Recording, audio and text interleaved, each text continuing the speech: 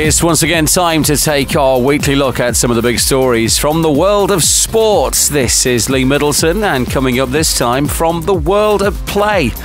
It's the final weekend of the World Athletics Championships in London, and things this week haven't gone 100% to plan.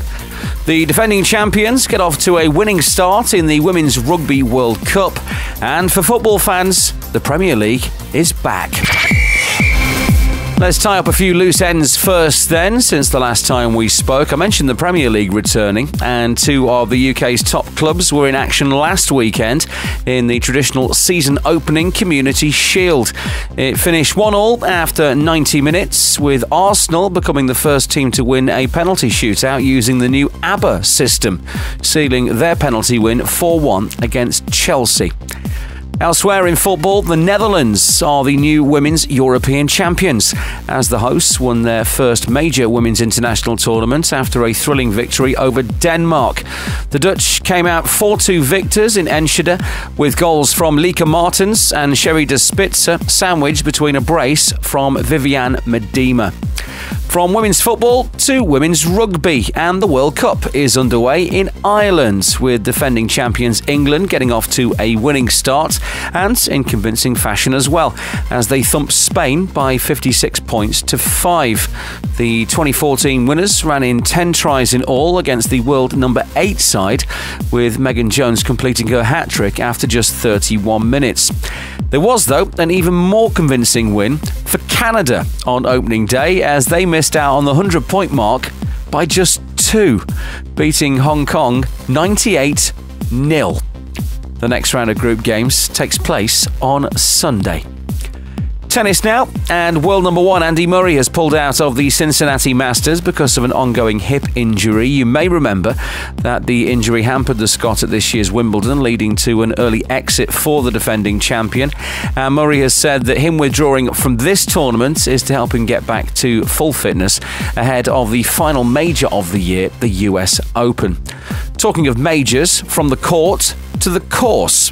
The course in question is Quail Hollow in North Carolina, and it's the final major of the year on the men's golf circuit, the US PGA. Jordan Spieth aiming to become the youngest player to achieve the golfing Grand Slam of the four majors after victory at Royal Birkdale last month.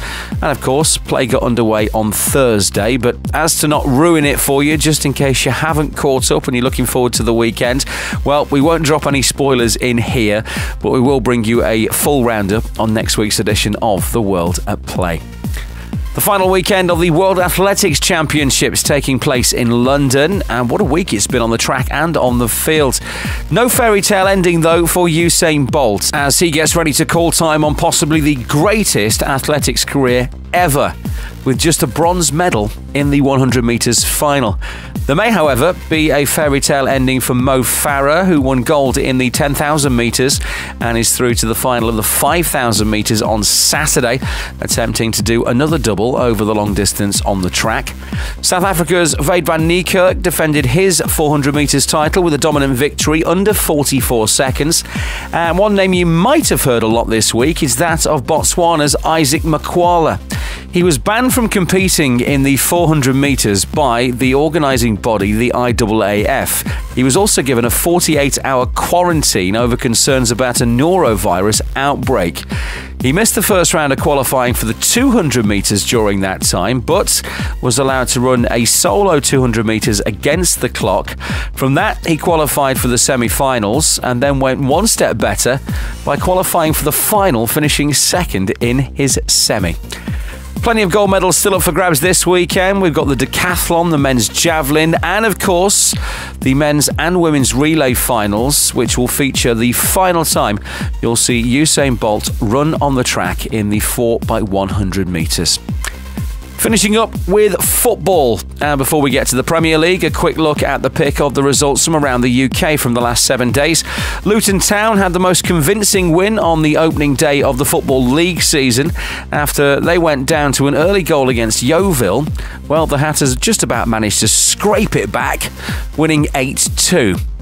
Bristol City found themselves on top of the championship after just the one game, beating Barnsley 3 1. And in Scotland, it was business as usual as Celtic thumped Hearts 4 1. So the big guns are back in England, with the rest of Europe's top leagues returning to action next weekend. And here's how the opening weekend of Premier League fixtures stack up. The opening game is on Friday, with Arsenal taking on Leicester City. Defending champions Chelsea play at home to Burnley. Man City are away at the newly promoted Brighton.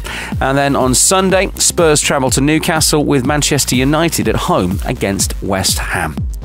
As always, whatever your sports and whoever your team, we wish them the very best for this coming weekend.